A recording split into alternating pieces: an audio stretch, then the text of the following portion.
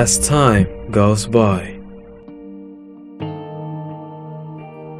The city known as the Golden Harvest.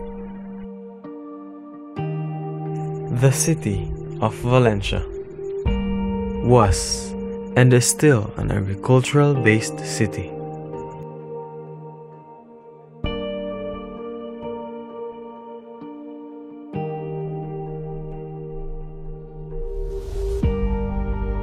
A lot of farmers in Valencia City have been using carabaos to cultivate the land for planting agricultural crops such as corn and rice.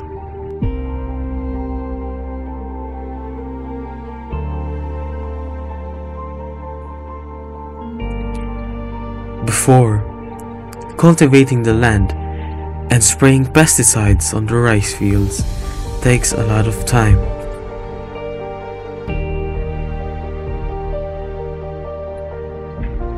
As technology was improving, we have these new machineries introduced to us.